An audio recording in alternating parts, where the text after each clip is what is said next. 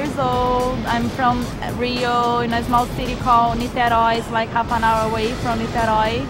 And I live with my parents when I'm there. And I, I also I live in New York.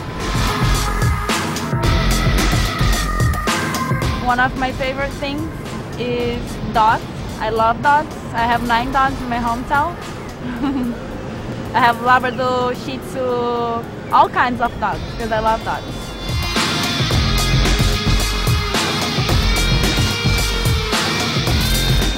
Very nice being uh, shooting for Sports Illustrated.